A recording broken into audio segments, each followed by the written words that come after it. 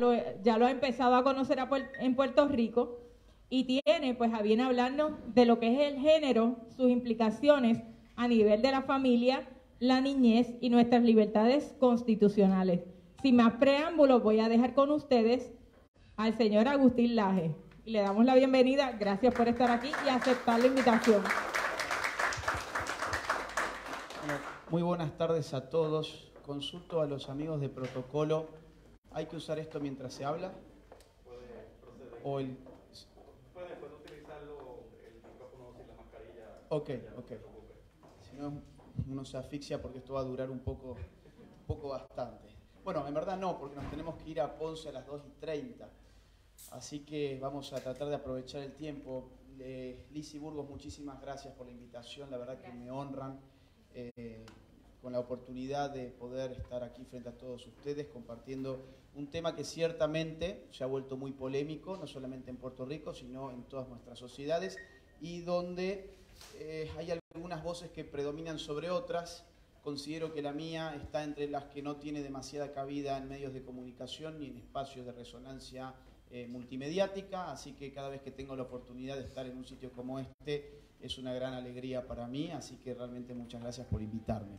Lo que yo voy a tratar de hacer de forma muy veloz, porque como les digo, a las 2 y 30 tenemos que partir hacia una conferencia que nos están esperando en Ponce, eh, es tratar de explicar qué es lo que en el resto de Latinoamérica llamamos ideología de género, pero que aquí están llamando perspectiva de género.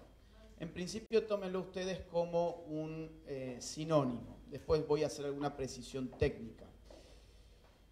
Para explicar qué es la ideología de género, a mí me gusta rastrear entre este, la filosofía del género, eh, cuáles son los fundamentos, de dónde proviene eso que llamamos género, dónde están las bases, porque a veces de forma crítica, acrítica, no crítica, acrítica, las eh, personas empezamos a utilizar palabras que no sabemos cuál es su origen, que no conocemos exactamente de dónde vienen, a dónde van, qué nos dicen, y como se ponen sin embargo de moda prácticamente que de un día para otro, o como hay alguna organización internacional que de un día para otro dice que esa es la palabra que hay que empezar a utilizar, pues entonces este, empezamos a escucharlas en todas partes.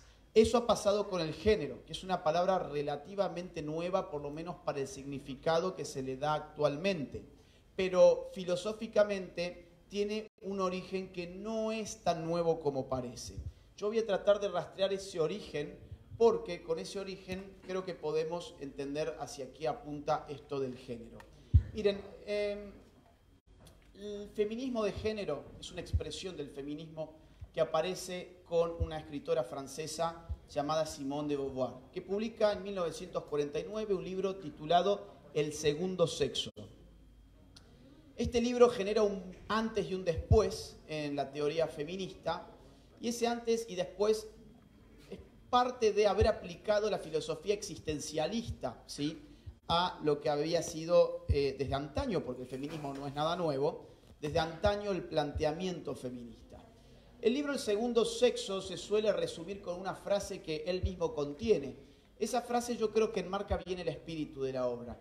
Esa frase dice, no se nace mujer, llega una a hacerlo. Esto, a contrario de lo que habitualmente se cree, que habitualmente mm, ciertas interpretaciones eh, eh, lo toman como una declaración meramente poética, digamos, donde lo que nos quieren decir es que, bueno, la mujer primero es un bebé, después será una niña, después será un adolescente y después cuando madura es una mujer. Yo esto lo he leído como interpretaciones en algunos medios de comunicación en otros lugares y esa es una, esa es una muy mala interpretación. O sea, esa es una interpretación eh, propia de quien no ha leído el libro eh, o de quien no conoce la filosofía eh, existencialista. Lo que está diciendo acá Simón de Beauvoir es una declaración metafísica, no poética, no cronológica, no biográfica, es una declaración metafísica.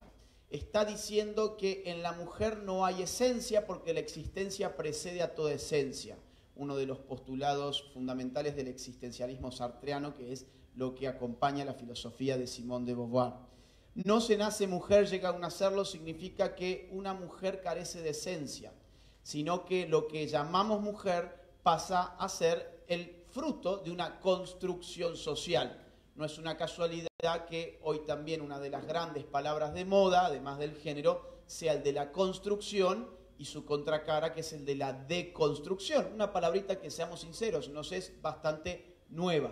Hace 10 años haber hablado de la deconstrucción, salvo para algún filósofo que estudiara eh, mm, al postestructuralismo francés, hubiese sido una palabra desconocida. Eh, Simón de Beauvoir entiende esto mismo, que la mujer es un segundo sexo, ese es el título del libro, que hay un primer sexo, que ese primer sexo es evidentemente el hombre, pero que todo lo que pensamos que en la mujer es natural, en verdad no es natural, sino que es adquirido en el marco de su vivencia en sociedad. Por eso no se nace mujer, llega una a hacerlo. El punto de inflexión es enorme porque a partir de aquí en adelante la noción del género, aunque no enunciada como género, pero sí la noción del género hace pie en el feminismo y se va a empezar a trabajar en lo sucesivo en tanta medida, en tanta medida que no hay prácticamente ninguna feminista posterior a Simone de Beauvoir que pueda llevar adelante su trabajo, prescindiendo de Simone de Beauvoir. Es decir, incluso hasta Judith Butler, que es la, que es la filósofa post-feminista, la filósofa queer más importante a mi juicio del momento, incluso ella tiene que recurrir a Simone de Beauvoir. Beatriz Preciado, una de las más importantes filósofas queer de España y de Europa en general, termina también recurriendo, este, aunque sea para criticar o para reafirmar, a Simone de Beauvoir. Simone de Beauvoir es un punto de quiebre en la teoría feminista y eso se va a notar especialmente en la década del 70 con la irrupción de lo que se denomina feminismo radical. El feminismo radical es una expresión del feminismo setentista en los Estados Unidos, también en Canadá, que tiene distintas filósofas que representan estas posturas. Yo creo que la más importante, y a mí me gustaría hablarles de muchas otras, como Andrea Dworkin y muchas otras más, pero como esto tiene que ser muy rápido, obviamente yo tengo que seleccionar qué es lo que voy a poder comentar esta tarde con ustedes. Yo selecciono a quien yo pienso que es la más importante de todas de esa época, que fue Kate Millett. Kate Millett escribe en los años 70 un libro llamado Política Sexual en Nueva York y este libro se convierte en el libro más importante del feminismo setentista. ¿sí? Este libro también es canonizado por una frase muy cortita, así como en Simón de Beauvoir era no se nace mujer, llega a un hacerlo, en Kate Millett la frase cortita es lo personal es político. ¿Cuál es el, digamos, cuál es la estrategia del feminismo? Entonces es politizar lo personal. Es otra forma, en verdad, de decir no se nace mujer, llega a un hacerlo. Es encontrar que en la sexualidad existen fuerzas políticas constitutivas. O sea, que el hecho de la sexualidad depende constitutivamente en altísima medida de relaciones de fuerzas políticas porque aquello que entendíamos que era personal o que se daba en el marco de la intimidad o de lo íntimo, como por ejemplo es el sexo, ocurre que si lo personal es político, pues el sexo es algo político. Esto parece un poco descabellado quizás, pero en verdad no es descabellado. Eh, muchas políticas públicas se están llevando adelante con eh, esta especie de máxima a la cabeza, suponiendo que lo personal es en verdad político. Por ejemplo, cuando se dice un padre de familia no tiene derecho a educar a sus hijos conforme a sus valores y creencias porque ese hijo en verdad pertenece al Estado, lo que se está diciendo es, oiga, usted pensaba que su relación con su hijo era personal, pero precisamente como lo personal es político, lo político, digamos, tiene preeminencia sobre lo personal y por lo tanto nosotros tenemos preeminencia sobre la educación de su hijo. Ahí tienen un ejemplo muy claro que creo que es algo que se está discutiendo aquí. En Argentina estamos en otra instancia mucho más allá, es decir, estas discusiones las pasamos hace tiempo y lamentablemente nos han traído resultados muy malos, de los cuales también les voy a comentar esta tarde, si es que el tiempo me acompaña. En Argentina, para que ustedes se den una idea, la última, el último grito, el último grito de los personales políticos fue lo que llaman justicia menstrual.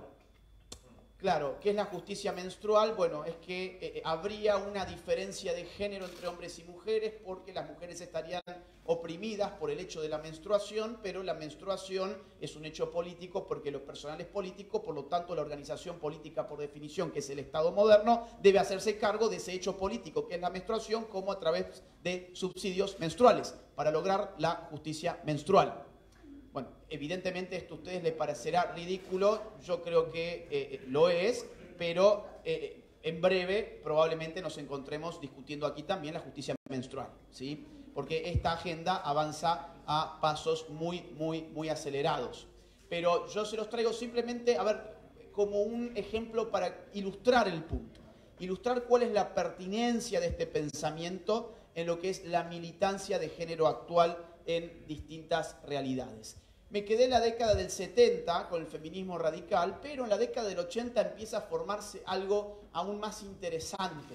Eso más interesante que se empieza a formar en los 80 se llama filosofía queer, que es la exacerbación de la categoría del género, básicamente. El embrión de la filosofía queer es una filósofa francesa llamada Monique Wittig. Monique Wittig dice básicamente lo siguiente. Oigan, ¿saben qué? Simón de Beauvoir fue demasiado poética cuando nos dijo que la, no se nace mujer, llega a un hacerlo. Lo cierto es que la mujer no existe. La mujer no existe porque todo lo que tiene que ver con el hecho sexual en verdad es reductible a un sistema de dominación que es el sistema en el cual los hombres dominan a las mujeres. Por lo tanto, ¿qué tiene que hacer el feminismo? Dice Monique Wittig. Por un lado, ella aboga por un feminismo lesbiano, pero ese es un punto anecdótico en todo caso, pero por otro lado dice, el feminismo debe destruir la categoría mujer con la cual los hombres han naturalizado a eso que llaman mujeres. Lo que vamos viendo es cómo entonces, filosóficamente, se va despegando de la realidad sexual, ¿qué cosa? El marco natural, su enmarcación natural. Y nos va quedando simplemente un sistema cultural opresivo que es el que configura la sexualidad y que es lo que se va a empezar a llamar género. Yo comprendo que ustedes puedan estar pensando en este momento que aquí estamos perdiendo el tiempo porque estas son puras tonteras. No, creo, no sé si todos ustedes pensarán eso, yo pienso eso, algunos sí, algunos no, pero yo les voy a mostrar que en verdad no importa si nosotros sabemos si las mujeres existen o no. Miren, yo sé que las mujeres existen y puedo hacer algo tan simple como esto. Hombre, mujer, hombre, mujer, mujer, hombre, mujer, hombre, mujer. ¿Saben quién ya no puede hacer eso? El Estado. Los estados, al haber absorbido, los estados que han absorbido la llamada perspectiva de género, que en verdad es una ideología y después voy a explicar técnicamente por qué lo es, ya no tienen la capacidad de distinguir jurídicamente entre hombres y mujeres porque jurídicamente han aceptado que la sexualidad no depende de ningún marco natural, que la sexualidad es el producto de una construcción social que le han puesto distintos nombres según los filósofos en cuestión. El más conocido es patriarcado, pero también se suele hablar de la falocracia, de la heteronormatividad y de algunos otros este, términos eh, más alocados unos que otros. Algunos ejemplos al respecto. ¿sí? Yo les voy a presentar ejemplos de muchos lugares. Voy a empezar con mi país, pero van a ver ejemplos de otros lugares también. En Argentina tenemos leyes de identidad de género. ¿Qué es la ley de identidad de género? Es una ley que dice que uno es lo que dice ser porque la sexualidad no depende de la realidad biológica de la persona. Otra vez, les estoy trayendo a colación toda esta filosofía hecha práctica. Entonces tuvimos un caso muy interesante de un señor llamado Sergio que cumplió 60 años y el señor se dio cuenta que podía hackear el sistema de una forma muy fácil porque los hombres en Argentina se jubilan con 65 años. Las mujeres se jubilan en Argentina con 60 años. Él acababa de cumplir 60 años y dijo, bueno, a ver, me puedo ahorrar 5 años de trabajo de mi vida e irme a mi casa a descansar y seguir cobrando mi salario de una manera muy simple, cambiándome el sexo. Y cambiar el sexo es una cuestión de autopercepción, por lo tanto, es algo, es un trámite demasiado sencillo. El señor hizo los trámites que debía hacer y en un par de días nada más pasó a ser ya no Sergio, sino Sergia y bueno, se jubiló cinco años antes. Esto no es solamente algo que esté pasando en Argentina, sino que también está pasando, por ejemplo, en México. En México tienen leyes de paridad de género en la representación política. Entonces, la estructura de las, eh, digamos, eh, candidaturas deben ser intercaladas, hombre-mujer, hombre-mujer, hombre-mujer, o por ejemplo, mujer-hombre, mujer-hombre, mujer-hombre, y así sucesivamente, 1-1, 50-50, ¿ok? Ocurre que había muchos candidatos que por ser hombres no podían entrar en esa ecuación, porque bueno, hacía falta, digamos, eh, ser mujer para poder entrar y ocurría al mismo tiempo que había partidos que no tenían líderes mujeres que tuviesen la posibilidad en esas elecciones de recibir votos. Entonces, ¿qué hicieron? Una decena de mexicanos, por lo menos, en distintos estados, cambiaron su sexo frente al Estado y se presentan ahora como candidatas. ¿sí? Yo creo que no vamos a tener audio, pero eh, acá hay un video que no, no hay audio, pero no se preocupen. Este señor se llama Humberto, ¿sí? Pero como no pudo ingresar, como no pudo ingresar, no, no, hay, no hay drama, ¿eh? luego ellos lo pueden buscar por eh, las redes. Está en YouTube este video, ponen Humberto, candidata Humberta y lo van a encontrar, ¿sí? Humberto, este, como él quería ser candidato, pero eh, es un hombre, eh, dijo, bueno, no, a partir de ahora soy la candidata Humberta y ahí está dando una conferencia de prensa anunciando su candidatura como la candidata Humberta. Sí, bueno, acá hay otros casos más que informan los noticieros de México, no viene ahora el caso, simplemente ilustrativo. Eh, fíjense ustedes qué fácil que es de hackear el sistema. ¿Por qué es tan fácil de hackear? Porque la perspectiva es ideológica. Porque la perspectiva es ideológica es que resulta tan fácil de hackear. Vamos a ver qué está pasando también en el mundo de los deportes muy rápidamente. Estas son cosas ilustrativas, nada más. Hay un montón de cosas que se podrían acá poner. Es simplemente para que ustedes entiendan que hoy nuestros estados, cuando aplican realmente lo que ellos llaman perspectiva de género, el resultado es que ya no podés empezar a diferenciar a los sexos por su biología, porque el género no es una categoría biológica, es una categoría sociológica que abre además las puertas a la idea de la autopercepción como autodeterminación de la identidad. Bueno, en Argentina tenemos muchos casos de transexuales que ingresan a jugar a deportes con mujeres, en ligas con mujeres. Tenemos casos de hockey, tenemos casos de fútbol soccer. Mujeres de los equipos rivales han presentado quejas porque en la cancha de juego se nota que hay una disparidad física y lamentablemente esto ha terminado incluso en asuntos judiciales, como verán en esta noticia, en asuntos judiciales en donde la justicia termina fallando a favor de que, bueno, el transexual continúe jugando con las mujeres porque el Estado tiene una ley de identidad de género que dice que cada uno es aquello que dice ser, punto final. Llamativamente ninguna organización feminista se ha expresado sobre esto en Argentina jamás. Al contrario, lo apoyan. En Estados Unidos, un adolescente transexual gana una competición en la categoría femenina de atletismo un hombre transgénero campeona de levantamiento de peso de Australia, de triunfar en el balonmano masculino a jugar al fútbol femenino australiano, muchos casos, casos incluso de certámenes de eh, belleza muy conocidos como Miss Universo, donde este, también hay un ingreso de transexuales, como ha sido el caso de España, no en esta última edición, sino en la anterior, muy celebrada por toda la prensa, mientras toda la prensa celebraba el caso de Ángela Ponce, un transexual de España que fue a representar a España como Miss España, mientras tanto Miss Ucrania estaba siendo expulsada de Miss Universo y la prensa no lo cubrió. Llamativo, ¿no? ¿Por qué estaba siendo expulsada Miss Ucrania? Porque se, se encontró, se descubrió que Miss Ucrania había sido madre. Y eh, hay un reglamento, parece ser, en estos certámenes de mujeres de que si la mujer ha tenido un hijo, pues entonces no puede participar del certamen.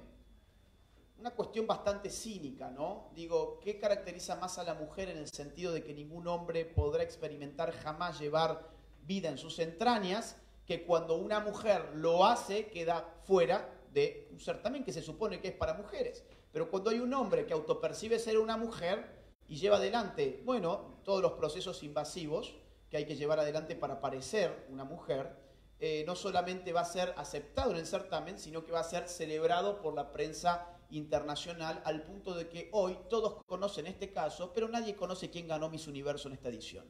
¿Sí? Nadie lo conoce.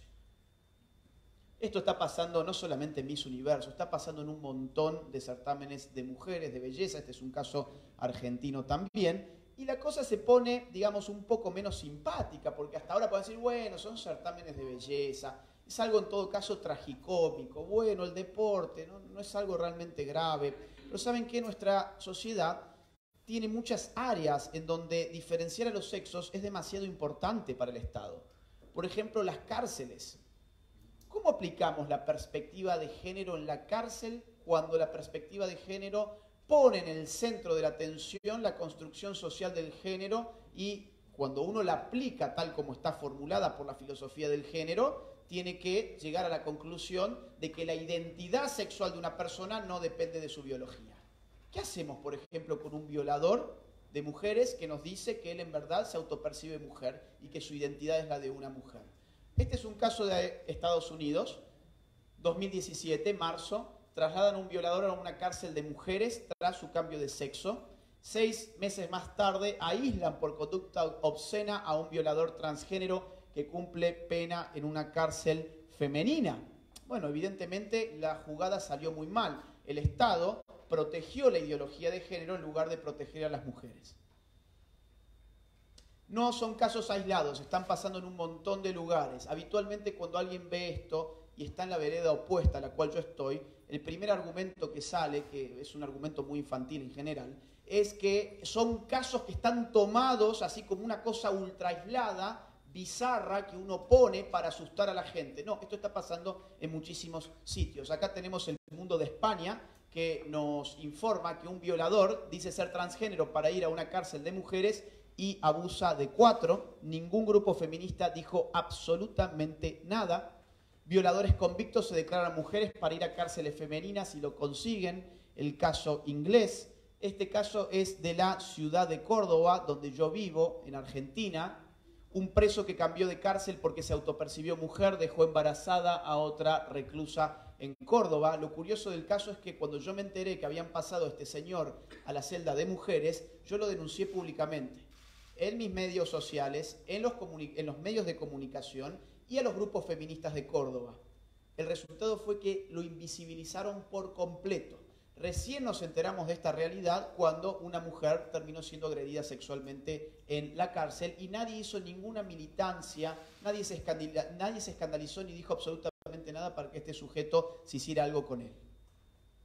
Incluso me puedo venir un poquito más acá en el mapa, vamos a Costa Rica. En Costa Rica también tienen su caso, el de un travesti que termina también en una celda de mujeres y intenta vapulear con un garrote, perdón, vapulea con un garrote a una presa e intenta violarla y genera una gran conmoción en una cárcel de Costa Rica. ¿Qué nos enseñan estos casos? Si es que enseñan algo. Bueno, enseñan que el sexo tiene una realidad que hace falta tener en cuenta y que no es cierto que todo nuestro, a ver, que, la, que la sexualidad humana sea reductible a aquello que han llamado género. Pero acá puede haber una confusión terminológica que va a poner en orden la mejor filósofa del género, hasta el momento, por lo menos a mi juicio, que eh, es Judith Butler. Judith Butler de California publica en los años 90 un libro titulado El género en disputa. Este es su libro más importante. Su subtítulo es El feminismo y la subversión de la identidad. ¿Mm? Lo que Judith Butler va a decir en este libro textualmente es lo siguiente. El sexo siempre fue género con el resultado de que la distinción entre sexo y género no existe como tal. El sexo siempre fue género con el resultado de que la distinción entre sexo y género no existe como tal.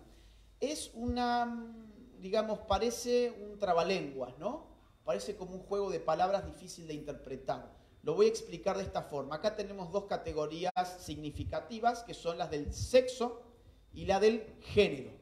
Sexo y género no son lo mismo. Partamos de esa base. ¿A qué le llamamos sexo? Le llamamos sexo al aspecto biológico de la sexualidad. ¿Ok? ¿A qué le llamamos género? Bueno, se le empezó a llamar en género, género alrededor de los años 80 más o menos a los aspectos socioculturales de la sexualidad. Entonces, el esquema, si tuviese un pizarrón, no sé cómo dice acá, una pizarra, sería sexo igual biología, género igual cultura. Yo estoy de acuerdo. Es decir, el ser humano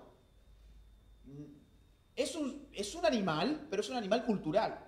Es un animal que tiene cultura, que enriquece su vida con cultura. Nuestra sexualidad no se puede reducir tampoco al mero hecho biológico. Sería también ese un grave error. Reducir nuestra sexualidad al mero hecho biológico como si fuésemos perros, por ejemplo, sería un grave error. En el caso del perro, uno sabe muy bien cuál es el sexo del perro solamente mirándole los genitales. En el caso de los seres humanos, la cosa es mucho más visible. ¿Por qué? ¿Por qué es más visible? Porque todas las culturas elaboran estrategias de distinción para diferenciar aquello que ya está diferenciado de forma preexistente en sentido biológico. Nosotros venimos ya diferenciados biológicamente, ¿sí? De hecho, nuestra diferenciación biológica en términos sexual ocurre en el momento de la singamia, de la, función de, de la fusión de los núcleos de los gametos. O sea, desde el momento cero de nuestra existencia. Estamos diferenciados biológicamente, eso es algo irrefutable, científicamente irrefutable. Ahora, sobre esa diferencia que preexiste a la cultura, la cultura ejerce estrategias de diferenciación donde se distribuyen, por ejemplo, roles de género o expresiones de género. Entonces, por ejemplo, aquí, generalmente, las mujeres han venido maquilladas, han venido con este, algún accesorio, algunos anillos, algún colgante, algún collar, alguna pulsera, etc. Bueno, eso, por ejemplo, es lo que llamaríamos expresión de género, por ejemplo. ¿no? O sea, es como cómo se está presentando, pero no no porque esté determinado genéticamente, no hay un gen en la mujer de que diga que la mujer tiene que usar maquillaje, por ejemplo. ¿Por qué usa maquillaje, sin embargo, la mujer? Porque hay estrategias de diferenciación. Y la diferenciación no es mala. Todos los, a ver, todas las sociedades, todas las sociedades de la historia han diferenciado a los sexos en términos culturales. No existe ninguna sociedad, por lo menos que la antropología conozca, cuyos sexos hayan sido exactamente iguales en términos de expresión o en términos de roles. Entonces, la categoría del género es significativa, es significativa a un nivel sociológico, porque atañe a lo cultural. Ahora, ¿cuál es el problema de la ideología de género? Que hace dos pasos. Primer paso, disocia naturaleza y cultura. O sea, dice, miren, hay dos dimensiones, el sexo y el género, y son dos dimensiones que no se tocan, que corren en paralelo, pero no, no hay allí una relación dialéctica, vamos a decir. El sexo puede ser una cosa, pero el género no tiene ninguna relación con lo que es el sexo. Sí, existe el sexo, sí, existe el sexo, existe lo biológico.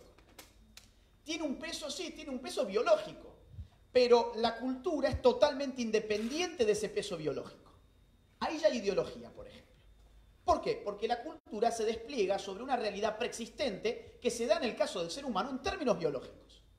Les voy a poner un caso que es, mm, digamos, eh, a mí me gusta porque es muy fácil de identificar cuál es el problema de la relación entre cultura y naturaleza. El hecho de la guerra. El hecho de la guerra es un hecho cultural, ¿ok? Donde hay distribución de roles de género, sí, ¿Cuál es la distribución de los roles de género? Bueno, habitualmente los hombres van a la guerra, las mujeres no van a la guerra. Hay mujeres que van a la guerra, sí, en proporciones minúsculas. Y, desde, y no desde siempre. ¿Ok? ¿Por qué eso ha sido así? Bueno, si nosotros suponemos que el sexo y el género van por líneas totalmente separadas, o sea que la naturaleza y la cultura se despliegan sobre planos de existencia totalmente irreconciliables, entonces tenemos que asumir que el hecho de que los hombres vayan habitualmente a la guerra es un hecho arbitrario, sin ninguna base natural, sin ninguna base biológica.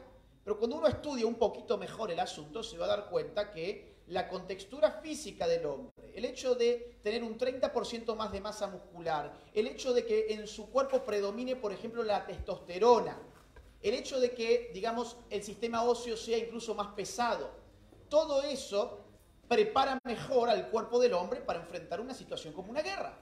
Y si uno estudia el cuerpo de la mujer y se da cuenta que además en términos reproductivos la mujer tiene un valor mucho mayor que el del hombre, porque la mujer tiene, o sea, puede tener un hijo cada nueve meses y el hombre puede tener numerosos hijos por año, y esto no es una invitación a la poligamia, que no se malentienda, eh, uno ahí empieza a entender por qué se han distribuido roles como ese. Y ustedes miran, bueno, pero eso es algo un poco arcaico. ¿Ah, sí? ¿Les parece que es arcaico? ¿Ucrania? Rehabilitó hace, un, hace un par de años, cuando empezaron sus conflictos bélicos, el servicio militar obligatorio. ¿Para quién? Para el hombre. Israel, que tiene servicio militar obligatorio, tiene 36 meses para hombres, 24 meses para mujer. ¿Es eso algo arbitrario que simplemente se despliega por un capricho cultural? Incluso más, lo saquemos del plano de la guerra, vayamos al plano de los trabajos, ¿sí? de las ocupaciones. Ocupaciones pesadas, peligrosas, poco higiénicas, que generan muchos accidentes han sido históricamente en todas las sociedades asumidas por hombres. En todas las sociedades. ¿Por qué? ¿Por un capricho de algo que se llama género? No, porque la cultura se despliega sobre algo que preexiste a la cultura que se llama sexo. Y el sexo es una variable natural. ¿Cuál es el problema de la perspectiva de género? Que tiende a invisibilizar esa base natural y privilegia casi monopólicamente la dimensión cultural de la sexualidad dejándola flotando en el vacío, empobreciendo nuestra concepción y nuestra comprensión del hecho sexual humano. Al empobrecer esa visión, al empobrecerla, la llamada perspectiva de género se transforma en una ideología. Porque por lo menos el sentido tradicional en filosofía de la palabra ideología es aquella perspectiva que empobrece la realidad que, que distorsiona, sería la palabra más ajustada, que distorsiona nuestra visión sobre la realidad. Entonces, ¿qué dice acá Judith Butler? Yo les dije el primer movimiento. El primer movimiento es el cual, yo les, el, cual yo les acabo de mencionar. Este es un segundo movimiento. Ella aquí está diciendo, mira, no, no es que vayan por carriles separados, que vaya el sexo por un carril y el género por otro carril. El hecho decisivo es que el sexo siempre fue género. ¿Qué significa que el sexo siempre haya sido género? Pues que nos olvidemos de la palabra sexo, que nos olvidemos de entender la sexualidad humana en términos de una esencia sexual que preexiste al arreglo cultural. Y acá la ideología de género llega hasta su punto culmine. Este es el final, este es el, este es el clímax de lo que llama la filosofía queer. O sea, anular absolutamente el hecho biológico y postular como única realidad, digamos, el género. Pero cuando el género prescinde de su hecho biológico que está en la base, aparece como un artificio. Si el género es un artificio, entonces podemos deconstruirlo. Si podemos deconstruirlo, podemos casi que volvernos páginas en blanco. ¿Para qué? Para autopercibirnos como nosotros queremos ser. Después de todo, la sexualidad se ha desentendido de su base natural, por lo tanto, todo estaría en la cultura o en mi cabeza. ¿Qué es lo que se perdió en el camino? El cuerpo. La ideología de género, en definitiva, es la borradura del cuerpo humano. Es la borradura del cuerpo humano en favor de la concepción cultural de la sexualidad, que se muestra como opresiva generalmente, y la solución a esa opresión, que termina siendo la idea de que la autopercepción determina nuestras identidades. Entonces, ¿qué es la ideología de género? En una palabra, miren, en una palabra la ideología de género es un conjunto de ideas anticientíficas que con propósitos políticos autoritarios desarraigan de la sexualidad humana su naturaleza para explicarla tendencialmente y de forma exclusiva a partir de la cultura. Empiezan a, empiezan a desnaturalizar la base real de la sexualidad humana por eso, por ejemplo, un niño puede ser una niña, un hombre puede ser una mujer, un hombre puede entrar a jugar al hockey femenino, un hombre se puede pasar al pabellón de las mujeres y ese tipo de cosas. Ese tipo de cosas solamente es posible si hemos desnaturalizado la sexualidad y hemos empezado a suponer que todo lo que explica la sexualidad es algo llamado género, que es opresivo, que hay que deconstruirlo y que el cambio, en lugar del género, hay que poner la autopercepción.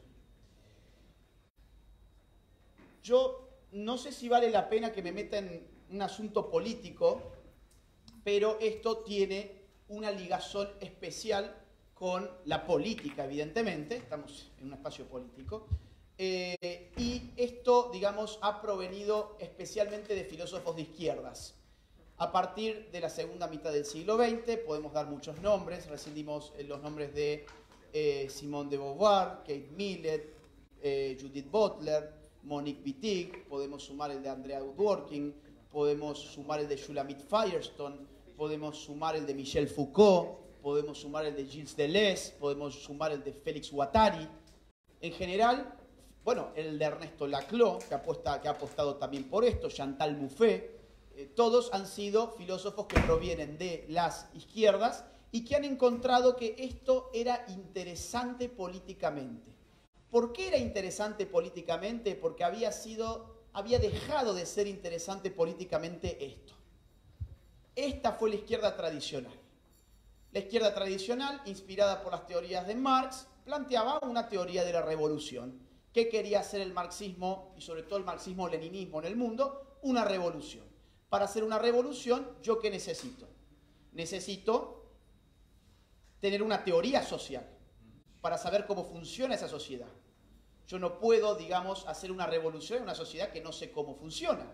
La teoría digamos, de la sociedad marxista, siendo muy simplificador porque no estamos en un ámbito como para ponernos a hablar horas de esto, eh, tomó una metáfora, una metáfora que es la llamada metáfora arquitectónica. básicamente se graficó la sociedad así. ¿sí? Yo lo pongo así a título ilustrativo. La cosa puede ser un poco más compleja, claro, pero lo tengo que simplificar de esta forma. Lo que la teoría marxista entendía de la sociedad es que funcionaba básicamente en dos niveles. Un nivel estructural o infraestructural donde se eh, desarrollaba y donde existía, digamos, eh, eh, el sistema económico, las fuerzas de producción y las relaciones de producción, y una superestructura donde tenía lugar todo todo lo demás, todo lo intangible, todo lo no económico, digamos así. La cultura, la religión, la filosofía, el arte, los medios de comunicación, etcétera, etcétera. La ideología. Cuando el marxismo clásico plantea esta teoría social, esta teoría social, dice, bueno, oigan, la revolución, ¿dónde debe acontecer? ¿En qué nivel de la casa?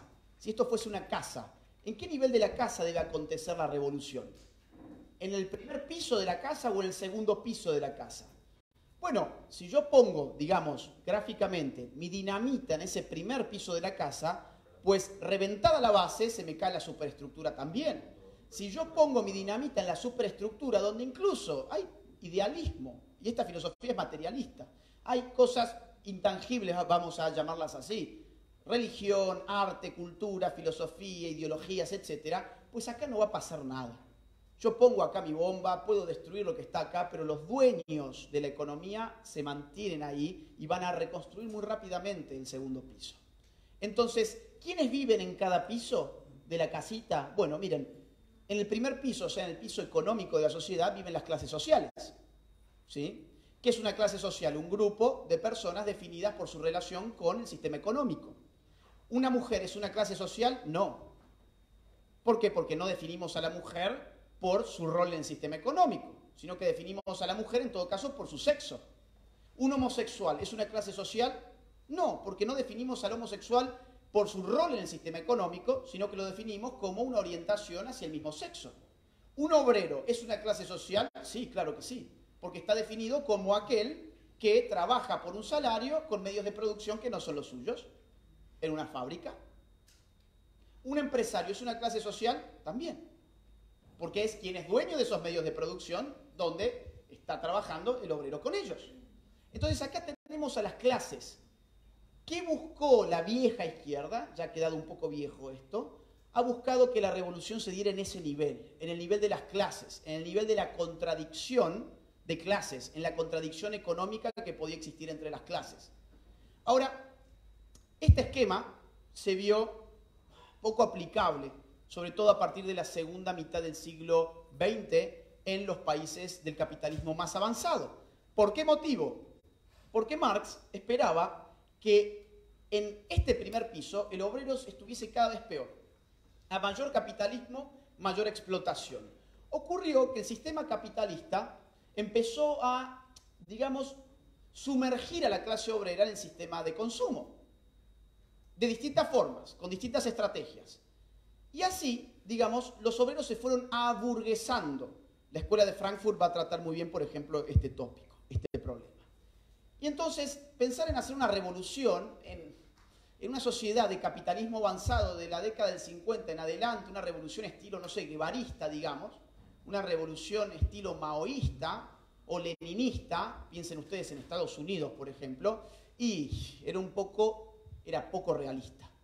Entonces, ¿qué, hizo, ¿qué hicieron los intelectuales de las izquierdas de estos países? Dijeron, bueno, no, no, esta vía está bastante cerrada acá, seamos sinceros, está cerrada. Vamos a la clase obrera, la queremos levantar contra el sistema capitalista y no estamos teniendo buenos resultados. Pero, ¿y qué pasa si miramos acá arriba, donde Marx y el marxismo tradicional dijo que no había demasiado que hacer? Aunque otro filósofo marxista italiano, Gramsci, ya había dicho que acá sí había que hacer muchas cosas. ¿Qué pasa si empezamos a ver qué hay acá? Bueno, veamos, ¿qué podemos hacer? ¿Qué podemos hacer? ¿Qué podemos encontrar ahí? Y acá capaz no encontremos clases, pero quizás encontramos, no sé, etnias, razas, naciones, podemos encontrar además sexo. Ah, qué interesante. Sexo, hombres, mujeres, orientaciones sexuales. Y así como antes aquí abajo íbamos y le decíamos a los obreros, oigan obreros, vamos a hacer la revolución contra el sistema capitalista que lo explota, ahora podemos ir de acá arriba y decirle a la mujer, oiga mujer, vamos a hacer la revolución contra el patriarcado que la oprime. O podemos ir y decirle al, al homosexual, oiga homosexual, vamos a hacer la revolución contra la heteronormatividad que lo oprime y así sucesivamente. Entonces la izquierda empezó a dar un giro. ¿Un giro hacia dónde? Hacia el segundo piso de la casa. Se trasladó, trasladó su lucha. El evento histórico clave en ese sentido, a mi juicio, es el mayo francés del 68, pero no voy a abundar en eso ahora. A mí lo que me interesa es que se pueda entender por qué hoy la izquierda está tan poco acá, está tan poco en lo que tiene que ver con las luchas económicas y las luchas de clases, y está tan fuerte en las luchas sexuales. Les adelantó algo, esa izquierda está siendo financiada por metacapitalistas. ¿sí? O sea, ahí hay una mezcolanza enorme. La Fundación Ford, la Fundación Rockefeller, la Fundación Bill y Melinda Gates, la Fundación Open Society de George Soros, todos poniendo dinero en grupos de izquierdas acá. ¿No será porque estos empresarios entienden que acá hay un juego de niños y que en todo caso mientras mantenga a la izquierda acá arriba jugando a ver si puede lograr la revolución del travesti, acá este, no habrá mucho más? No sé. Eso son puras especulaciones mías. No, no, no, no, son meras hipótesis. Miren, no voy a hablar mucho más de política. Sí, ¿qué ha pasado? ¿Qué tiene que ver esto con la derecha? Hemos hablado que tiene que ver con la izquierda muy rápidamente. Mire, lamentablemente del centro derecha hacia la izquierda hay un consenso pleno en que todas estas políticas tienen que pasar. La centro derecha es una centro derecha globalista en general, o sea, está subordinada a los mandatos de organizaciones internacionales, por ejemplo el Banco Mundial. En Argentina, después de que se rechazó el aborto en el año 2018, Mauricio Macri recibió 200 millones de dólares del Banco Mundial solamente para implementar políticas de género que impulsaran en las escuelas educación con perspectiva de género, para ver si en un par de años el aborto pasaba mejor. Este señor, además, digamos, inundó el sistema de ideología de género. Este señor hizo lo mismo en Chile, Piñera. Duque no sabe ni dónde está parado hoy en Colombia. El PP en España con Casado a la cabeza se ha corrido terriblemente a la izquierda y fruto de eso es el nacimiento de un partido de derecha llamado Vox. Y acá podríamos agregar a muchos más, al PAN de México, por ejemplo, que está exactamente en la misma situación. Entonces, la centro derecha, ¿qué ha hecho? Miren, para seguir con el gráfico, que así se va a entender mucho mejor, la centro derecha ha dicho, oigan, ¿saben qué? Sí, ¿quiere esto la izquierda? ¿Quiere el segundo piso de la casa? Es todo suyo. ¿Quieren las universidades? Son suyas. ¿Quieren los medios? Allí van ustedes. ¿Quieren la cultura? Tómenla. ¿Quieren la currícula escolar? Tómenla. No me toquen a mí el sistema de propiedad privada. Lo único que la centro derecha hoy está protegiendo y muy mal, dicho sea de paso, es el sistema de propiedad privada. ¿Por qué digo muy mal? Porque, a ver, acá hay goteras, ¿sí? Acá hay goteras. Esto empieza a inundarse y empieza a gotear. Esto pasó en Chile. Chile tiene un sistema económico muy sano, muy sano. Argentina no tiene un, un, sistema económico nada sano, por ejemplo. Y en Chile hubo una revolución que terminó ahora en la modificación de la Constitución. En Argentina no ha pasado absolutamente nada. ¿Por qué? Porque han hecho gotear con muchos años el segundo piso y han terminado inundando el primer piso y el sistema económico chileno. Yo creo que no, no digamos, es, es lo que va a estar en jaque y en jaque mate en la reforma constitucional que está en camino. Miren, ¿cómo actúa la ideología de género? ¿Cómo se va imponiendo la ideología de género? Con muchos recursos, muchos recursos. Uno de ellos es la modificación del pensamiento a través del lenguaje. Hoy estamos viviendo una guerra de palabras, ¿sí? Hoy estamos asistiendo a nuevas palabritas constantemente. Admitámoslo, es decir, hay muchas palabras que han llegado a nuestra vida de golpe, casi que de un día para otro, y mucha gente incluso las repite sin siquiera saber qué significan. Yo he tenido muchas entrevistas eh, con, gente de la prensa, por ejemplo, de muchos lugares, y cuando uno se les pregunta, ¿y qué es el género? Piensan que es el sexo. Y se la pasan hablando de género. O cuando se les pregunta qué es un feminicidio, se la pasan hablando de feminicidio, no saben lo que es. ¿Qué es la violencia de género? No la saben definir. Entonces, digamos, hay palabras que parecen transparentes, que parecen que su contenido lo conocemos muy simplemente porque la escuchamos en todas partes, pero si lo pensamos bien no nos hemos tomado el trabajo de definirlas. Y ocurre que el pensamiento se resuelve con palabras. Trate usted de tener un pensamiento significativo sin usar palabras y no podrá. Todo pensamiento se elabora utilizando palabras. Por eso es que las palabras son importantes para el pensamiento. Por eso es que modificando ciertas palabras yo puedo ir cambiando ciertas percepciones. ¿Mm? En Argentina, digamos, esto ha llegado a extremos ridículos, como tratar de imponer el lenguaje inclusivo desde el Estado a través de un eh, programa de televisión llamado Todes, que sale por la, eh, digamos, por la TV pública, por la TV eh, estatal, pagada con nuestros impuestos, y cuyo objetivo es reeducar a los argentinos en lenguaje inclusivo. ¿Qué suponen? ¿Cómo se justifican? ¿Saben cómo se justifican? Diciendo que hablar con la O y con la A es propio de una persona discriminadora. Cuando yo llegué hoy aquí les dije bienvenidos a todos, estoy muy contento de estar acá, yo los discriminé, porque según esta ideología yo no me estaba refiriendo, por ejemplo, a Joan o Elizabeth o a, o a todas las mujeres que están aquí hoy presentes. Más aún, esto se podría resolver si yo hubiese dicho hola a todos y todas. No, tampoco. ¿Por qué?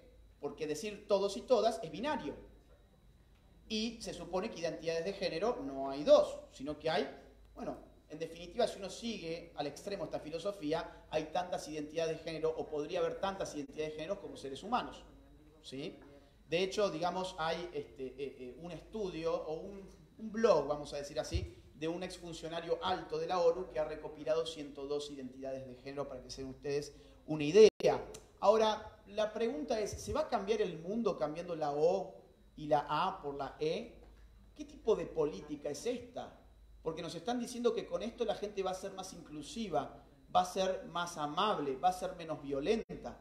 Este es el carácter ideológico que yo les quiero comentar que tiene todo esto. Modificando palabras podemos cambiar percepciones, pero no realidades. ¿Sí? modificando palabras, bueno, yo puedo cambiarle la percepción a una persona de que esa persona está contribuyendo al bien universal, porque en vez de decir todos, o decir todas, o decir todos y todas, está diciendo todes. Yo tendría que haber dicho, hola a todos, estoy muy contente de estar aquí con ustedes para haber cambiado el mundo. Evidentemente no va a cambiar nada. Y estamos gastando dinero en este tipo de cosas. Ayer me enteré, lo quería poner, no, no se pudo porque la conexión de internet bloquea acá ingresar a Google, se los quería poner en pantalla pero no, no pude, este, porque no podía entrar en Google. Después los invito a ustedes a que lo busquen en todo caso. Ayer en Argentina se inauguró una cosa que se llaman políticas de seguridad femenina en el espacio público. ¿Qué es? Es un poste de color violeta con los logos feministas que tiene una circunferencia, ¿sí? Tiene un, tiene un círculo que rodea ese poste de color violeta también y ahora les han dicho a las mujeres que si están en una situación de peligro, tienen que ir y ponerse adentro de ese círculo y no sé qué va a pasar. No sé si es como la capa de Harry Potter, así que uno se vuelve invisible, o, o, si eso tiene un campo electromagnético que va a repeler al violador que quiere ingresar dentro del círculo. Es ridículo. Argentina tiene hoy, a ver, para que ustedes se den una idea, Argentina tiene hoy el presupuesto mayor de toda América en políticas de género. Argentina gasta 10 veces más en políticas de género que en justicia, en su sistema judicial. ¿sí? Después lo pueden chequear a toda esta data. ¿sí? El último, eh, eh, digamos, los últimos eh, gastos públicos del último año, 10 veces más en políticas de género que en sistema judicial. Todos corruptos, por otra parte, así que les viene muy bien. Miren, incluso más, ¿en qué se han gastado la plata? Bueno, por ejemplo, en semáforos. Ustedes acá creo que dicen luces, ¿no? Bueno, luces con dos, eh, vieron que el muñequito está ahí y está parado cuando uno se tiene que quedar parado o que camina cuando uno tiene que eh, cruzar la calle. ¿sí? Bueno, las políticas inclusivas de género es que ahora esos muñequitos sean dos muñequitos hombres de la mano y cuando se tiene que cruzar de la calle son dos muñequitas mujeres, o sea, con su falda, de la mano cruzando, ¿no? Entonces, claro, esa es la inclusión hacia la comunidad LGBT en los semáforos en Argentina. Y uno dice, ¿esto cambia realmente algo? ¿O es que están usando el dinero del pueblo para hacer tonteras, y perdón por la expresión, pero creo que lo son, para gastar el dinero del pueblo, de un pueblo pobre, para que unos pocos se llenen los bolsillos? Miren, voy a seguir un poco con lo del lenguaje, dando por sentado de que decir todes no va a mejorar el mundo. Eh, en Francia se reemplazó la palabra madre y padre en los colegios por paternidad 1 y paternidad 2 de lo que se trata es de ir borrando toda diferencia de género. Claro, si tenemos diferencias de género para hablar con pronombres, por ejemplo, pues habrá que armar otros pronombres, que es lo que ya se está haciendo. O si hay diferencias de género para referirse a los padres, papá y mamá, pues habrá que empezar a borrar a papá y a mamá. En el lenguaje. En Canadá se aprobó una ley que castiga severamente a quienes usen pronombres de género equivocados, ¿Esto qué significa? Bueno, que si alguien utiliza un pronombre de género que no se adecua a la autopercepción de la otra persona, entonces esa persona puede terminar hasta seis meses presa. En Nueva York existe también lo mismo, pero no vas preso, sino que tenés una multa de hasta 250 mil dólares. En California tenés una multa también elevadísima. Yo en esta no recuerdo exactamente hasta cuánto iba, pero me parece que era hasta 150 mil dólares. Ustedes se fijarán que esto no es una propuesta yo no estoy criticando la orientación sexual de nadie. Que, acá se han dicho muchas cosas en las redes que no son ciertas. Yo no estoy criticando, a mí no me importa, no me interesa la orientación sexual de otra persona, ni su autopercepción, ni su identidad. Yo lo que vengo a denunciar es que esto es altamente represivo y esto tiene por necesidad mayor que empezar a limitar las libertades individuales utilizando la fuerza del Estado, porque de otra manera no podría meterse en la sociedad una teoría tan disparatada.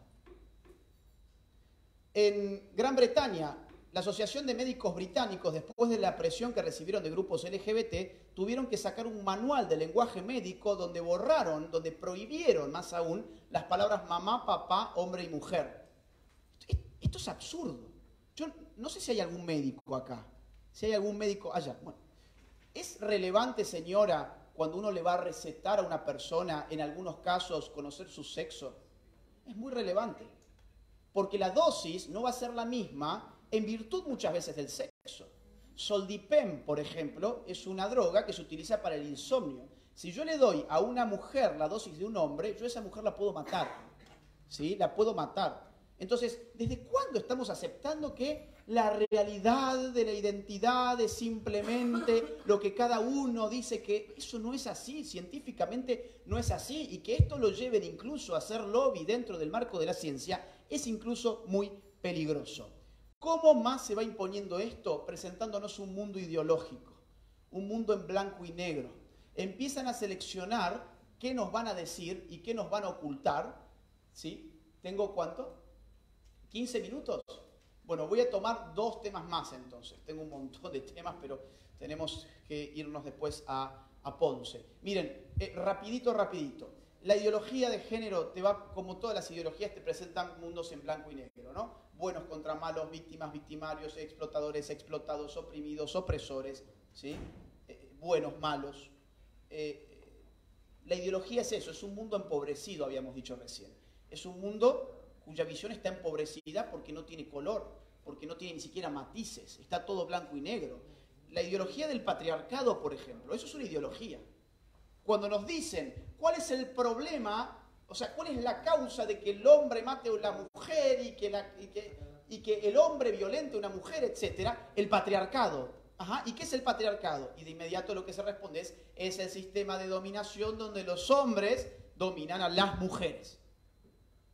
Bueno, yo quisiera ponerle un poco de color a ese mundo en blanco y negro para que ustedes vean que no es un mundo en blanco y negro, con datos de Puerto Rico.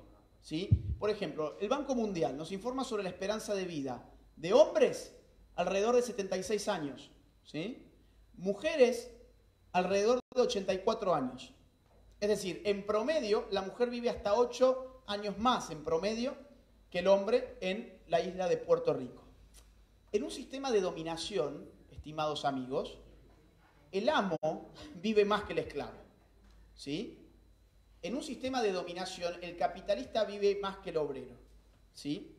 Entonces, que alguien me explique, digamos, cómo veo acá el patriarcado. No, yo acá empiezo a ver color. Empiezo a ver que hay situaciones en las cuales los hombres están peor que las mujeres y hay situaciones en las cuales las mujeres están peor que los hombres.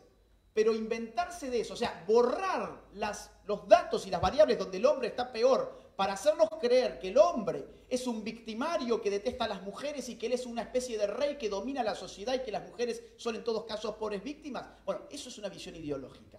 Miren, más datos. Homicidios del año 2000 al año 2017 en Puerto Rico. Las líneas violetas son víctimas hombres. Las líneas verdes son víctimas mujer. Año 2017. 692 víctimas eh, masculinas en homicidios, 37 víctimas femeninas en homicidios. El otro día me hacen una entrevista de un canal de televisión, de uno de, aquí, y me dicen, bueno, a ver, ¿qué opina usted sobre el principal problema que tenemos en Puerto Rico, que son los, son los feminicidios? Digo, bueno, primero que nada, que no es el principal problema. Yo sé que es antipático que yo diga esto, sumamente antipático, porque estamos ya chipeados, tenemos ya el chip de que decir esto es una cosa atroz. ¿Es un problema el feminicidio? ¿Es un problema la violencia contra la mujer? Sí. ¿Es un problema grave? Sí. ¿Es un problema que lo podemos disociar de este otro problema? No. No.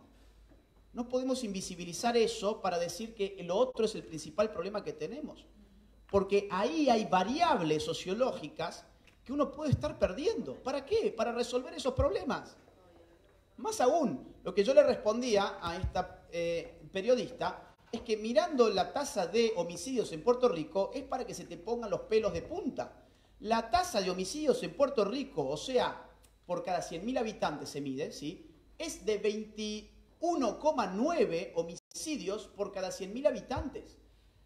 La tasa promedio mundial, la tasa promedio mundial es de 7.2 por cada 100.000 habitantes. O sea, Puerto Rico hoy tiene una tasa por 3 del promedio mundial. Acá hay un problema mucho más hondo que el patriarcado de los hombres que odian a las mujeres y que las matan porque las mujeres son mujeres. Nos están vendiendo causas ficticias para no resolver absolutamente nada. Son las mismas causas que nos vendieron en Argentina. ¿Y saben qué pasó en Argentina? Desde el año 2014-2013 que se, que se ponen en práctica las políticas de género y la violencia contra la mujer cada vez asciende más y los feminicidios ascienden todos los años más. ¿Han solucionado algo? No, no han solucionado nada. ¿Por qué no solucionan nada? Porque te inventan la causa. Las causas son un poco más complejas que esas seguramente. Es más, miren este dato de este, eh, el gobierno de Puerto Rico, ¿no? de la policía, que va del 1 de enero al 30 de marzo, o sea, los primeros tres meses, digamos, de este año. Este año han sido asesinadas siete mujeres adultas y una mujer menor, ¿ok? Este año han sido asesinados, hasta el 30 de marzo, 148 hombres adultos y dos hombres menores de edad. Bueno, acá hay una disparidad importante que es del 95% al 5%. Ahora, ¿por qué se invisibiliza esto? Y por otro lado, por otro lado, vamos a ver acá, porque acá hay móviles, ¿no? Miren qué interesante. De las mujeres, tres de las siete adultas fueron asesinadas por situaciones relacionadas con drogas. Dos fueron por violencia doméstica, lo que habitualmente se llama feminicidio. Pero entonces, el tema de la droga, digo, no, no, no, ¿no será uno de los problemas por los cuales hombres, miren, 82, 82, hombres y mujeres también están siendo asesinadas en la isla? Violencia doméstica, dos mujeres asesinadas hasta el 30 de marzo. Hombres, seis. ¿Salieron por la televisión esos? ¿Alguien lo vio por la televisión a seis hombres asesinados en el marco de una trifulca doméstica?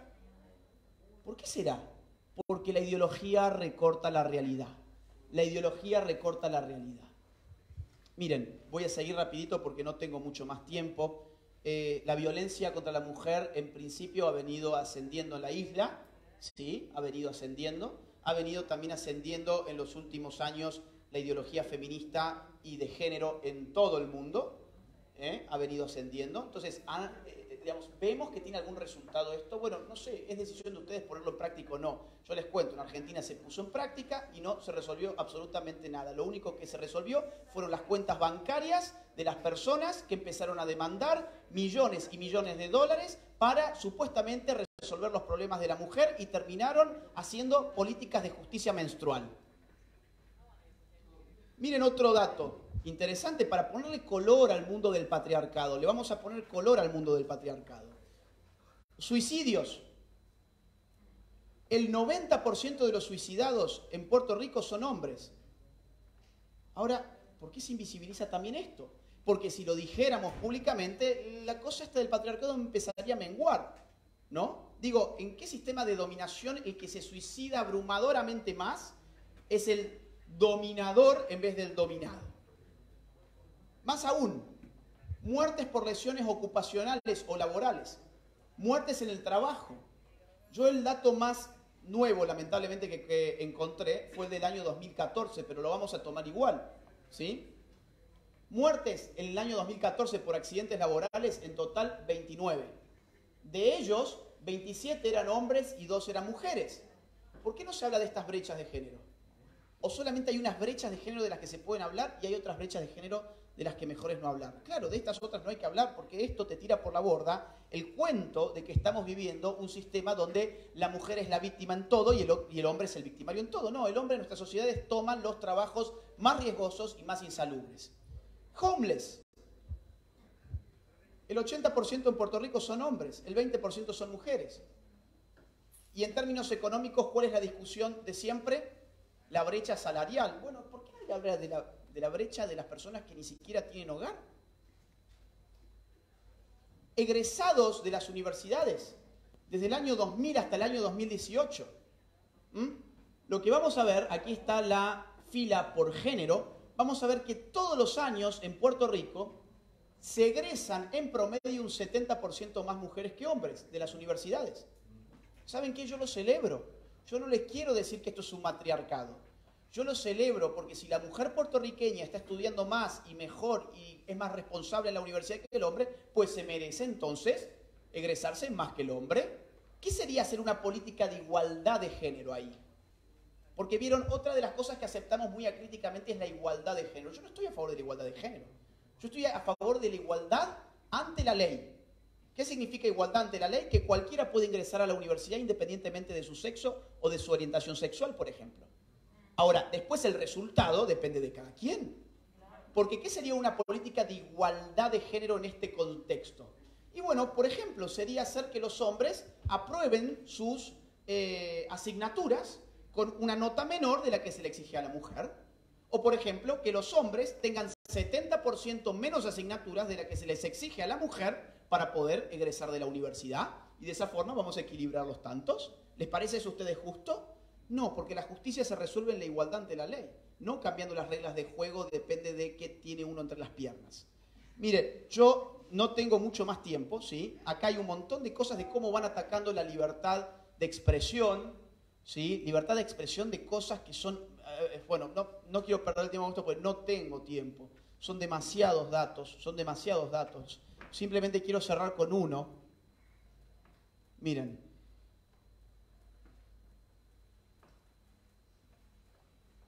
A ver, vamos a cerrar con un dato que es lo que tiene que ver con algo que se está discutiendo aquí, que es la llamada perspectiva de género en la currícula escolar. En Argentina ya lo tenemos eso hace rato. En Argentina un padre de familia ya no puede escoger la educación de su hijo. ¿Por qué? Porque todas las escuelas laicas, eh, privadas, públicas, religiosas, no religiosas, están obligadas a incluir la perspectiva de género en el colegio.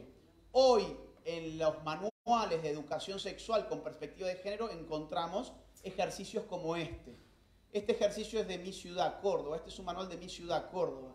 Se llama el género opuesto. Es un ejercicio práctico que hacen los niños. Dura 30 minutos y dice así. Hacemos un ejercicio de cambio de identidad, nos ponemos un nombre, una edad y una orientación sexual diferente a la actual.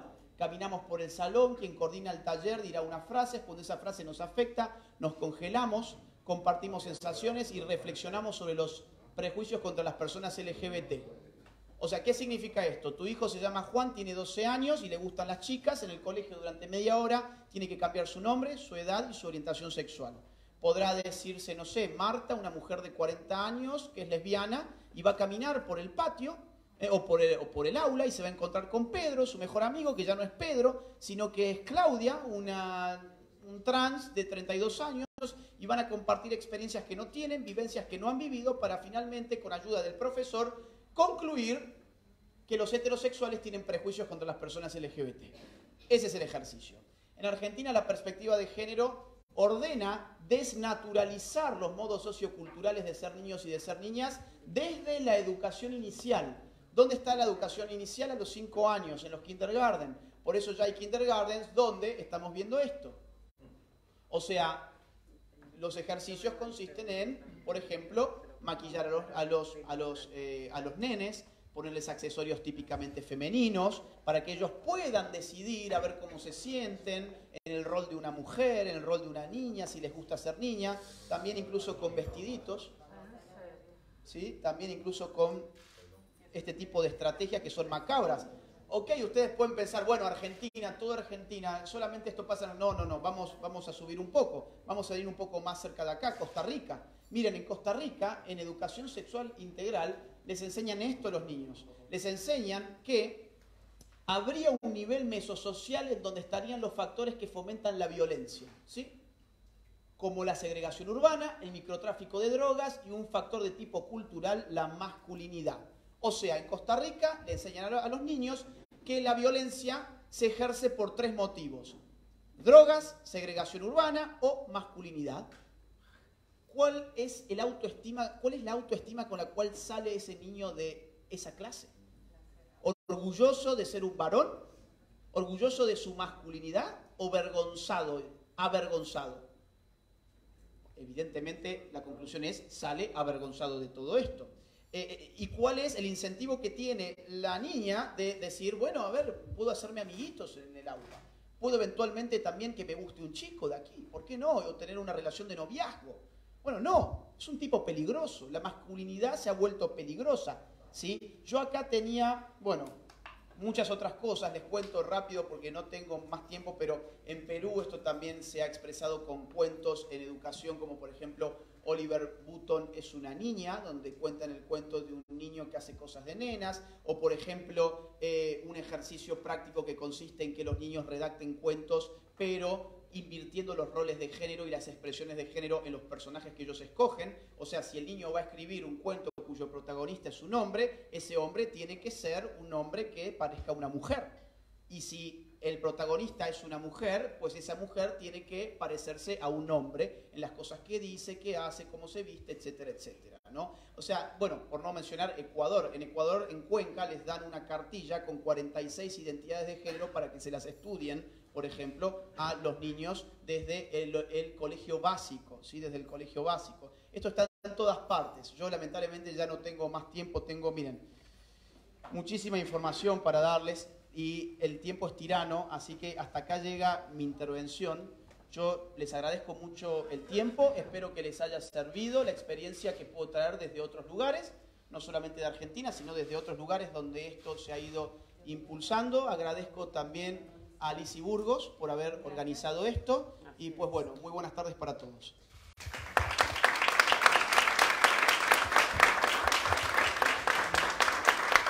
Bueno, muchas gracias al señor Agustín Laje por acompañarnos. Queremos en este momento excusarlo porque él tiene eh, un compromiso esta tarde en Ponce. Muchas gracias, Laje, por estar con nosotros. Queda excusado.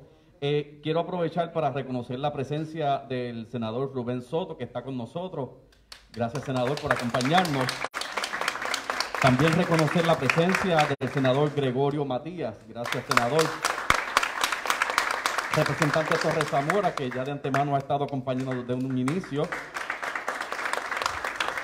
La representante Wanda del Valle, gracias representante. Y queremos reconocer la presencia también de la señora Tamoa Vivas, eh, Organización Alerta Puerto Rico a favor de la familia, los valores, la niñez. Queremos que también ella pues tenga bien pasar por aquí para dirigirse brevemente hacia ustedes. Eh, también quiero que pase aquí con nosotros eh, un colaborador de la estación de, de, Nueva Vida, el señor Mario Rosario, gerente del canal, en representación de Juan Carlos Matos, presidente. Ha sido uno de los colaboradores que ha eh, pues, permitido que el señor Laje se encuentre con nosotros en el día de hoy. Inicialmente también la señora Elizabeth Torres había hecho esas gestiones para que él pudiera estar en Puerto Rico y queremos que entonces eh, se dirijan a nosotros estos invitados. Estamos sumamente agradecidos y pensé que este día nunca iba a existir. Tener aquí parte de la legislatura de Puerto Rico escuchando la verdad de la ideología de género eh, nos resume un poquito el trabajo que hemos hecho nuestra organización por ocho años consecutivos, eh, labor voluntaria, dándole esta data y mucha más de lo que es esta ideología. Nos levantamos como padres desde el 2013, una organización civil que la acompañan personas de todas las ideologías, agnósticos, parejas homosexuales, cristianos, que no asisten a ninguna iglesia, pero que tenemos una cosa que se suponía que todos debíamos estar de acuerdo. Y es en la lucha por la familia, porque aquí, que yo sepa, nadie salió de una mata de plátano. Por la niñez, que son los menos válidos y los que se supone que todos defendamos. Por los valores, que son los que no nos permiten hacer todas estas maldades. Y por la vida, que sin ella no podemos hacer nada y la defendemos desde la concepción hasta la muerte natural, porque el próximo paso, mi gente, es la eutanasia para matar a los viejos y a los enfermos, porque hay una cultura de muerte. Así que estamos a la mejor disposición de darles información fidedigna, con data empírica, científica, estadística, como siempre lo hemos hecho, porque nadie en ocho años nos ha podido desmentir nos levantamos denunciando los libros del Departamento de Educación como madre del Departamento de Educación. Y en aquel entonces hicieron un, tour mediático para decir que era una mentirosa. ¿Saben qué? Aquí estoy, ocho años después diciendo que sí, y cada vez muestro más y más pruebas. La verdad siempre va a prevalecer. La pregunta está a quién usted le va a creer. ¿A los que le pagan? ¿A los que tienen intereses? A los que ganan con esta agenda o a padres como nosotros, que somos los que votamos por ustedes, que somos los que ciudadanos, que somos el pueblo y que estamos dando una lucha incansable por proteger a los nuestros y a ustedes y a los suyos. Así que les pido una oportunidad. Este tema puede continuar con más data, más información y de Puerto Rico. Espero que tanto la representante Lisiburgo como la senadora Joan Rodríguez Bebe, como los que están aquí, que con algunos me he sentado, en unas veces he sido ignorada, otras veces me han atendido. que se den la oportunidad de ver la verdad. Gracias.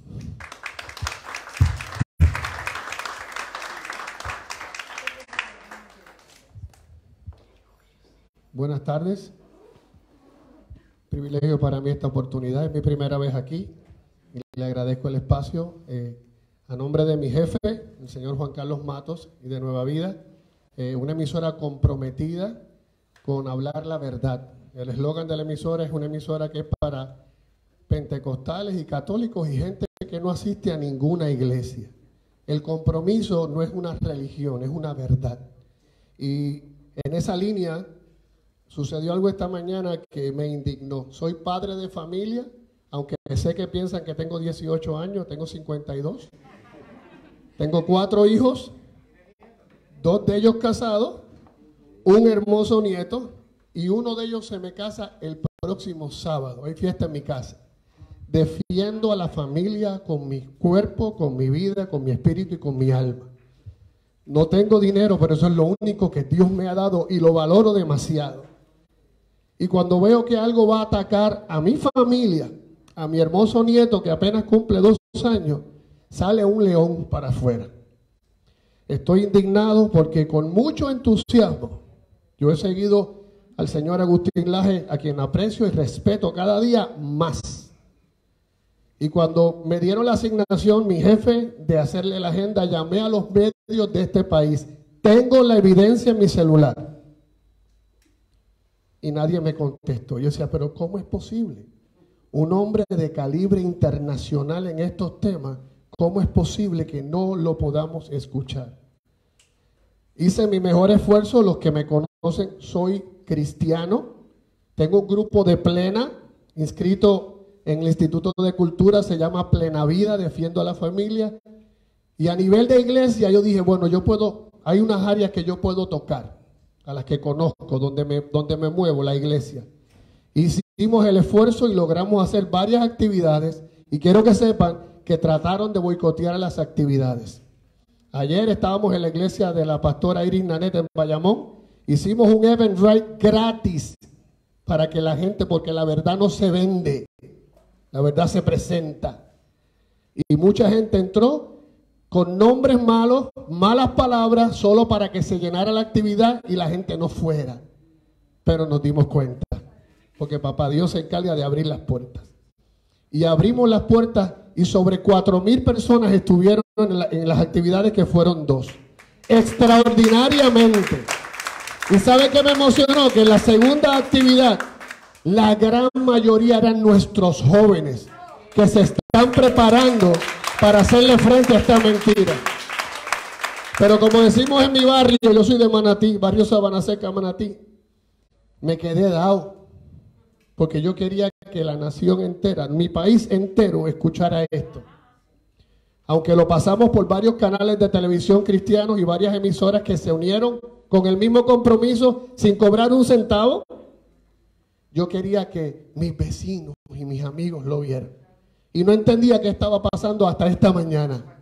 Esta mañana, mientras el señor Agustín Laje estaba en Nueva Vida, pusieron un post en Twitter el caballero se llama Pedro Julio Serrano. Dice, y lo voy a leer, y qué bueno que están las cámaras. Bravo Puerto Rico, el tal Laje, el fundamentalista, misógino y homofóbico, admite y se queja de que su visita ha sido un fracaso. Según él mismo, es la primera vez que sufre de la invisibilización por los medios y que nadie debatió con él. Y hasta ahí lo puedo manejar. La próxima frase dice, no contaban con nuestra astucia.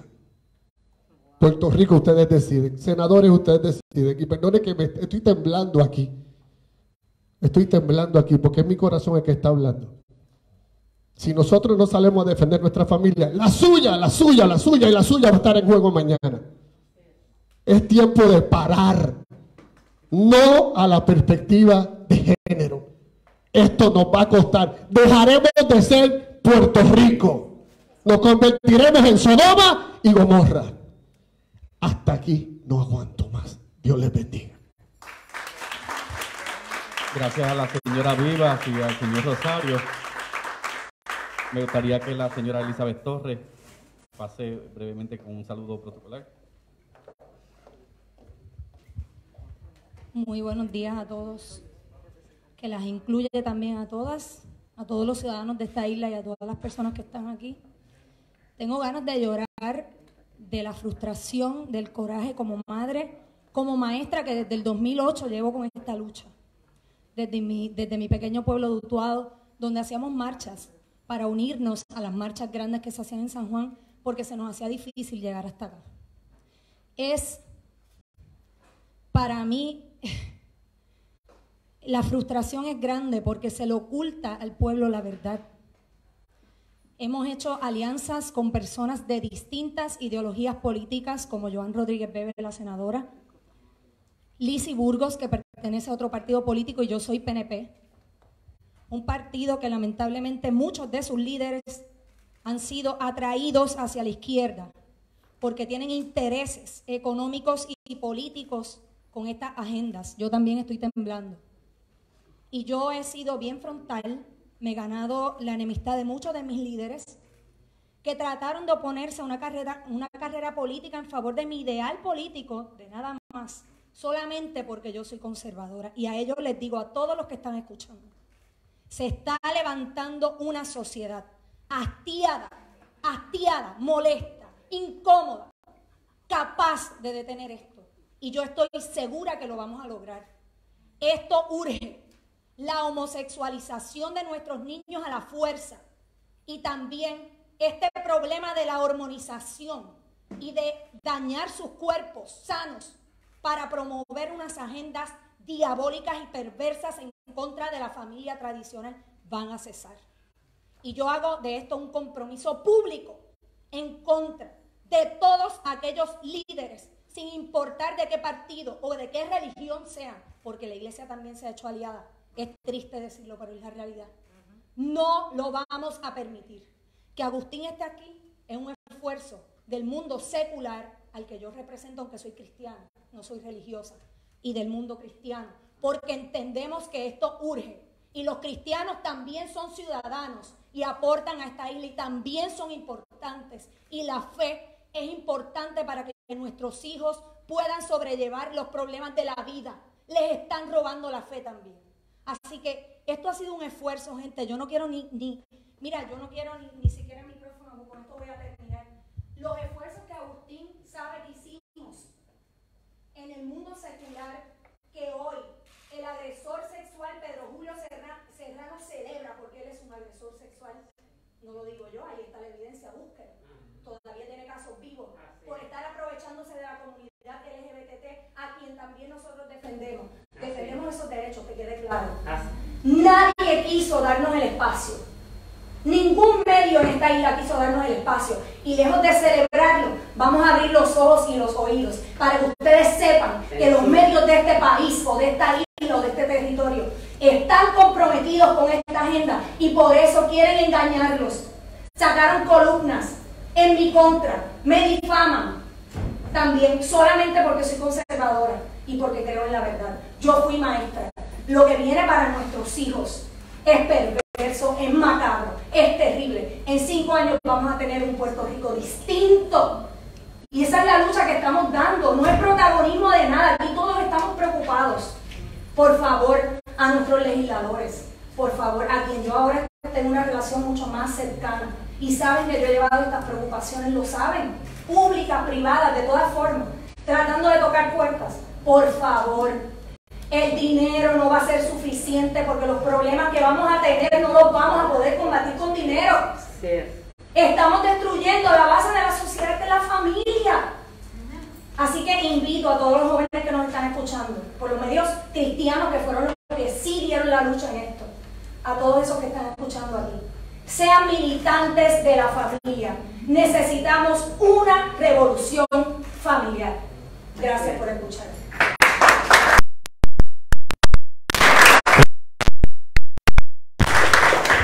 Joan, si, si puedes, por favor.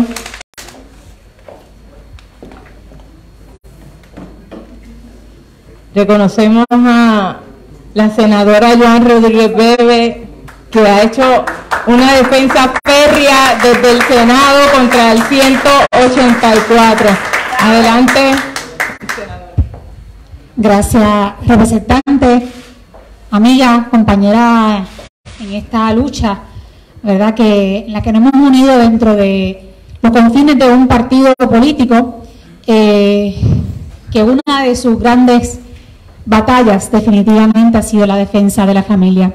Sin embargo, hoy estamos aquí unidos, eh, legisladores de todas las delegaciones, de todos los partidos, que han aceptado esta invitación, ya sea personalmente o a través de sus asesores en sus oficinas, para darse la oportunidad, eh, el conocimiento que el señor Laje hoy ha tenido a bien compartir con nosotros. Yo simplemente exhortarlos a que en vez de que promovamos la perspectiva llamada perspectiva de género, perspectiva de familia. Yo creo que seremos mucho más exitosos, en definitiva.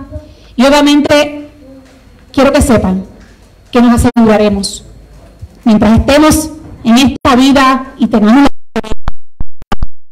de, de defender lo más que atesoramos, que es la familia y por supuesto dentro de ese núcleo de familia nuestros hijos.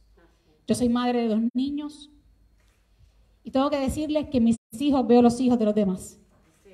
Y cuando trabajo y también tiemblo, porque tiembla mi corazón, porque realmente sé cuánto uno ama a esos pequeños.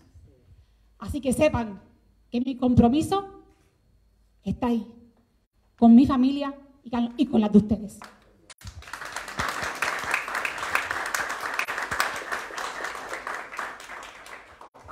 Hoy le estamos entregando simbólicamente eh, de parte de la Cámara de Representantes el logo oficial para que donde quiera que él vaya, cuando lo pueda usar, recuerde que le abrimos las puertas no tan solo de, de la Cámara, sino de nuestro corazón. Estamos muy agradecidos. Bueno, muchas gracias. Eh, me gustaría, si es posible, eh, tal vez una, una, foto de los legisladores oficial, por favor, y entonces eh, Torres, Matías, Torres Zamora, senadores.